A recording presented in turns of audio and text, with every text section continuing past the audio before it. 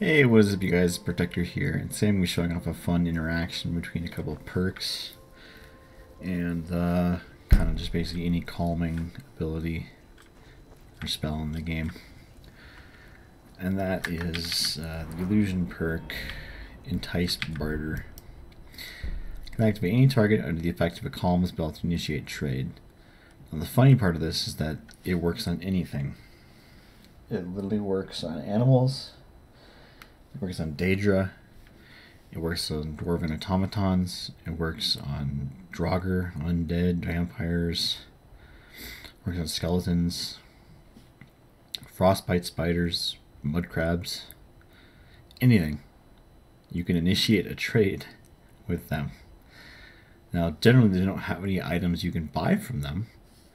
However, um, with Fickle Fate and Master the Mind, Master the Mind specifically, uh, mind effects spells can also work on undead Daedrian automatons, so you can calm them down. So you definitely need that if you're going for this this kind of uh, setup. But then there's the pickpocket perk, uh, Death Emperor. When someone else is in possession of the coin, your attacks deal 200% more damage and critical damage to them. So if you need to deal heavy damage to a target, um, three, three times more damage and three times more critical damage to them. You can just sell them the coin, uh, and then they'll have possession of it. And then with Doom to Plunder, killing victims, especially the Death Emperor, grants 100 to 300 more gold.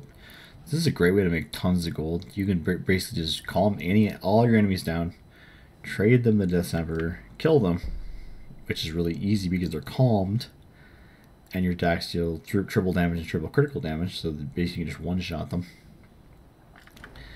And you get 100 to 300 more gold. And I always pick up both pickpocket masteries because 100 extra carry weight is just really nice. Even on characters that aren't really pickpocket. Um, yes, this requires 70 pickpocket, but trust me, if you just go around for like half an hour after the start of a game and quick save before pickpocketing a bunch of people and just pickpocket everybody in every town. We used to pickpocket like gold and keys and uh, rings and necklaces and stuff, amulets from everybody in town, and then go to the next town over, go to Riften, go to Solitude, go to Whiterun. You're gonna get your pickpocket skill up really, really fast. Trust me. I think in like 45 minutes I got it up to like 67 or 68 of just pickpocketing people, and I had like 10,000 plus gold. 10,000 plus gold, like raw gold. And then probably like 30, 20, 30,000 gold in actual pickpocketed items that I couldn't sell yet because I wasn't part of the Thieves Guild yet, so I couldn't sell fenced items, so I couldn't fence items yet. Of course, you can fence items with the speech tree. Um, uh, still still goes, but that speech just kind of takes a long while to level, but you can just do Thieves Guild. Or if you have amazing follower tweaks, you can sell, you can fence your items to your follower at a 50% rate, but you're losing a lot of money that way. You can just join, just join the Thieves Guild. It's a quick quest to finish, to actually get into the guild and be able to fence stuff. I mean, the whole quest line takes a little bit, but, but to actually be able to just fence stuff, it's not that long. So we can do stuff like this. We can go here and we can go and calm down. Let's ooh, wood crab, you know. Oops, let's calm you down. Oh, let's calm you down. Let's entice barter. Give you Death Emperor and kill you.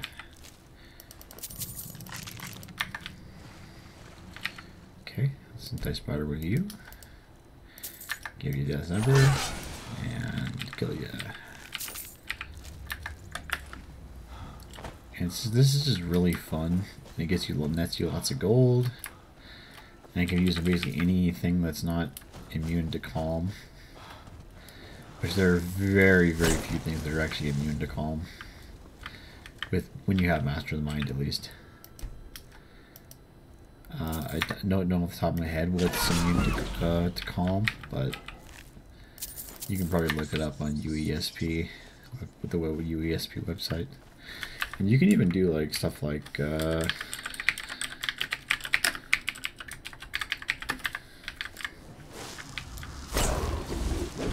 giants. This giant now understands commerce and trade. And I can trade him to this emperor. He, he understands now. He gets it. We, we taught him trade. And now he's dead. Because... And it's really nice because it makes um, difficult enemies not that difficult anymore. Because you can calm them down. And then sneak attack them for tons of extra damage. Or you don't, you don't have to sneak attack them. You can just attack them with like a warhammer. You know, warhammer would get a huge crit off, and then just re uh, re-attack them. You know, something like. Uh, I don't have any high damage. Let's do help. Dragon War.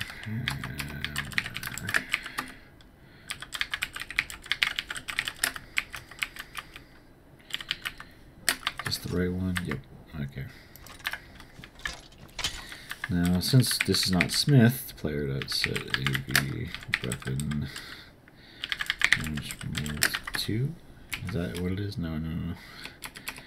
Melee damage 100. There we go. So, now we can spawn a giant in.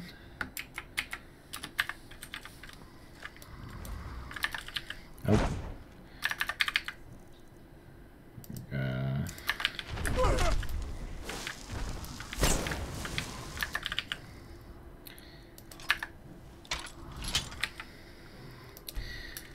Give him the Death Emperor.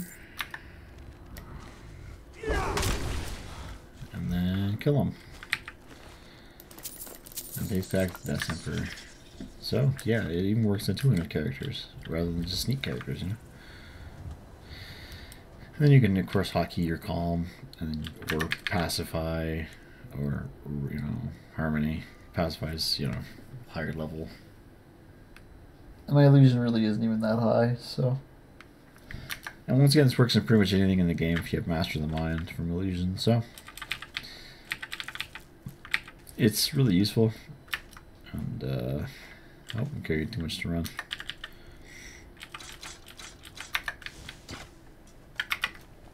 But it's a fun little interaction. Um, really useful early on if you like a pickpocket character. Because um, then you don't actually have to pickpocket anymore once you get your pickpocket to 70 or so for Doom to Plunder. Or hell, yeah, actually a 70 for um, second perk, second perk of uh, Death Emperor, the second and the first perk of Doom to Plunder. Uh, you can triple your damage on basically any enemy, and uh, get 100 to 300 extra gold on them. So which is pretty cool. What do you got to say? Greetings, brother. You look weary.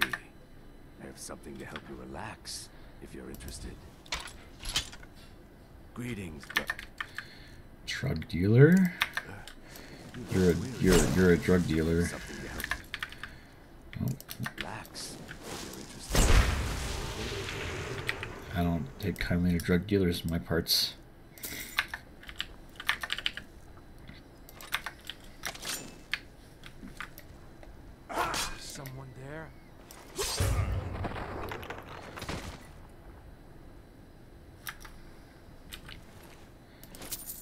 There's your drugs.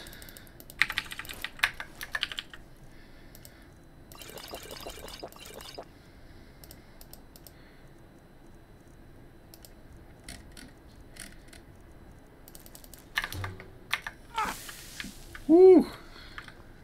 All right, peace out.